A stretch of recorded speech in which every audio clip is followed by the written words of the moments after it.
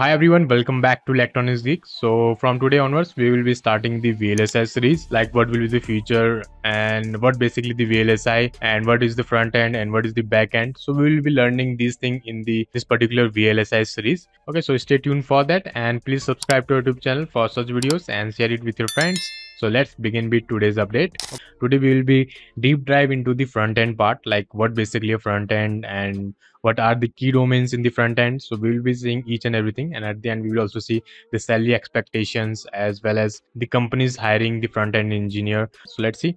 Okay so first it comes to the what is vlsi basically. So vlsi is basically a very large scale integration. So basically this is the combination of cmos or the integrated circuit so as here you can see the uh, in the photograph that this is the vlsi chip. So whatever you see in the ram rom so you have seen the uh, black chip right? That is called a vlsi chip. Okay so here in VLSI, we have a two domain. The first one is the front end domain and the second one is this uh, back end domain. Okay, so today uh, in this particular video, we will be learning the front end about uh, front end. So for the front end domain here, uh, we have a four different uh, domain inside that like uh, you can be a design engineer you can be a verification engineer you can be a dft engineer or you can be a fpga engineer. Okay so these are the basic building blocks or these are the basic uh, domain we can say. So basically as the name suggests it's a design engineer means they will design the integrated chips okay?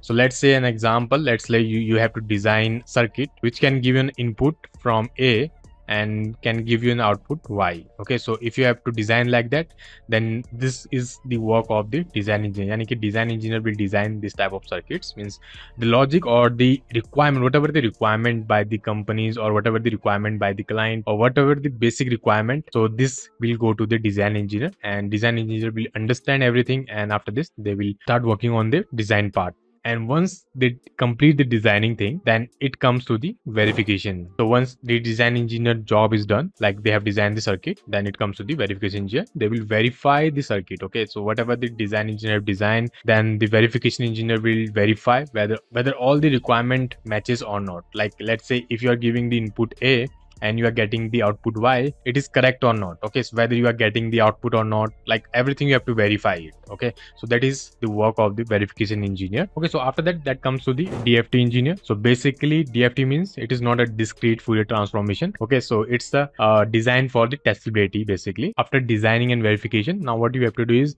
you have to check whether maybe a some mismatch in the connection or there may be the mismatch in the output okay? So that is the work of the dft engineer to check whether everything is working fine or not or the connections are uh, connected correctly or not. So this is the work of the dft engineer. Okay so once everything is done then the uh, it comes to the fpga engineer. Basically fpga is a board okay where we will burn our code and we will check whether we are getting the desired output or not. ठीक है जैसे कि मान के चलो design engineer everything is designed, a verify engineer everything is verified okay? But physically it is not possible directly make an IC right? So before that what we do is we need to burn this code into the FPGA to check whether whatever we have written in the code whether it's working or not or it's giving the same output as per desired or not okay so this is the work of the fpga engineer means you can say they also verify whether the, they are getting the desired output or not okay so after verification only then we will move for the fabrication and all or the backend part okay so these are the basic domains like design verification dft or fpga so इनमें से आप कोई भी choose कर सकते हो as per your skills और as per your knowledge और as per your interest so जिस भी डोमेन में आप जाना चाहते हो you guys can easily join and there ample opportunities for the design verification D F T and APJ okay so let see so what are the steps required to get into the front end engineer तो first one is आपको क्या क्या learn करना है? The very important part is good knowledge of digital electronics very important digital electronic is the key और the backbone of the V L S I as you all are aware of right and उसके बाद है we L S आई जो कि आपका basic V L S I रहेगा, जो कि आपके बी टेक वगैरह में रहता है।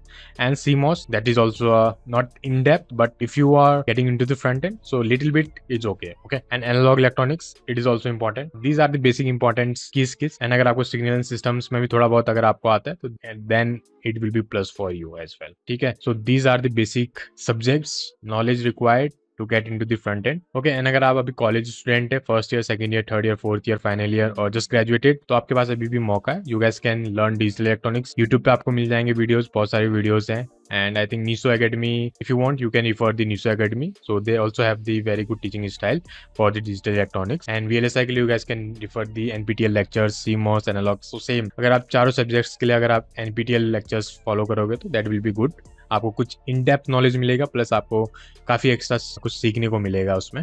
उसके अलावा, यहाँ पे आपको प्रोग्राम की रिक्वायरमेंट रहती है that is command in the programming so that is very important if you know C that is very good and if and if you know c++ then that is excellent. yani if you have a c and plus knowledge, then that is only the requirement. So if you have these skills so that's it. Okay and if you don't know how to learn c c++ you can also uh, go through the youtube channels. There are many youtube channels from where you guys can easily learn c c++ python. So basically python is required for these scripting languages uh, but it's not that much mandatory right? But if you know then well and good. Otherwise for the scripting we have the tcl or the perl. So we will uh, talk about these things later in the video. Don't worry. So programming skills like basic c and c++ is okay if you uh, if you know these things okay? C and c++ okay उसके बाद then we have verilog system verilog uvm dft so these skills you guys can also learn from uh, nptel lectures like verilog is completely free there so you guys can go through that and system verilog also you can find in some of the nptel lectures but uh, not fully but uh, hopefully like we also working on that once we complete everything like we can also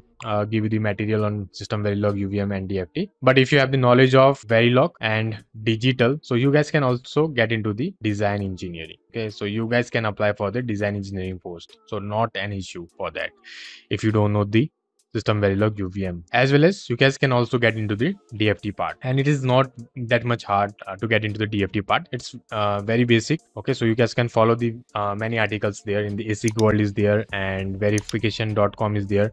So you guys can go through those articles. Uh, you may learn the system verilog uvm as well as there. Okay once you're done with that then uh, it's come to the verification part. And if you want to get into the verification domain then uvm and system verilog is very important for that. You should have the knowledge of uvm and system verilog so you learn everything then the final part that is very important it's come to the projects. Very very important. Why it's very important? If you want to get into the industry so projects are mandatory. Because project shows you have that skill set right? You have learned verilog you have learned programming languages you know the digital electronics. But how the recruiter will know whether you know these things or not? Okay so how they will know? They will know through the projects. So if you have done some projects some protocols like uart spi so these are the basic protocols which i'm talking about but if you go into into the higher end the industry part then you have to know axi ahb protocol okay amba protocol is there. But if you will start from the basic like spi uart i2c after getting the commands on these uh, protocols then you can go for the other protocols. Don't worry if you had any questions related to the project uh, programming languages or the verilog system verilog so you guys can comment it below or you guys can directly reach out to us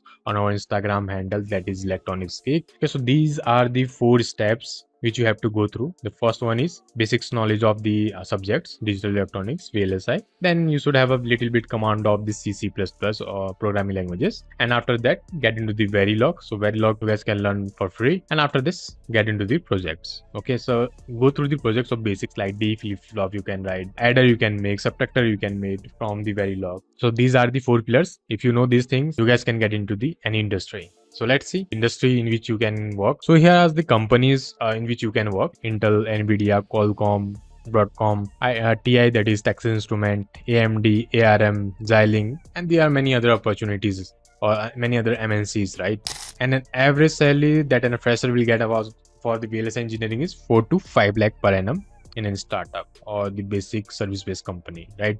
If you get into the product based company, then definitely you will get 5 to uh, 15 lakh per annum for a fresher okay? And if you have one or two year of experience you may get into 20 24 25 lakh. Okay and for jobs we provide the regularly job dates. So you can follow our youtube channel or the telegram channel or whatsapp channel. And uh, linkedin you will get all the jobs. Company website so we already provide you the jobs. So you don't need to again go and search for the intel nvidia. So you don't have to worry about this. Difference it is well and good and very important. If you have the reference then the chance of your getting the shortlist will be high. And other job portals like and all. The first one is like you are you are following our channel electronics geek. Like you will get all the uh, job updates in our telegram channel whatsapp channel. So these two are very important. Okay so this is all about the front end vlsi engineer. So if you want to get into the front end so these are the things which is required. And uh, we will talk in depth in the coming videos. Plus uh, we will next video will be the on the backend part. So we will see that also. Okay so if you have any questions or anything in mind do let me know in the comment section. Okay and if you like our content please like and subscribe to youtube channel and share it with your friends. And please let us know in the comment section as well. Like please continue this type of series. We want more this type of series so that we can also get the motivation to make more such type of videos. Okay so see you in the next video. Till then take care stay safe and keep applying for the job. All the best. Bye bye